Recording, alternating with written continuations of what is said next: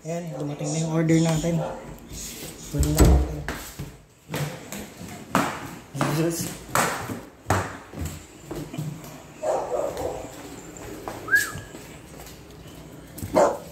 Ayun. Dumating na yung order. Dumating din sa wakas. Okay, salamat po. Ah, okay na, okay na. Thank you po. Yan, dumating na yung order natin guys. Kakabit na natin to. Goods na. Thank you boss. Ayun, nakuha na natin pangkabit sa panlagay dito sa ano, cover sa pusa. Copy na natin guys. Tapos lagay na natin. Plug and play lang to. Okay, okay. Ito ah. Okay, good shit. Good shit yan boss. Kalmot.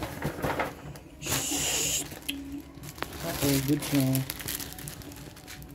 Uy. Ang ganda sir. Ang ganda ng pagkakagawa. Thank you. Ang nasabi. Garterize pa yan boy. Garterize. Ah, ganda. Wait lang. Kakabit natin. One eternity later. natin yung bagong order natin. Good shit. Kalmadog. Salamat, Shopee. Delivery.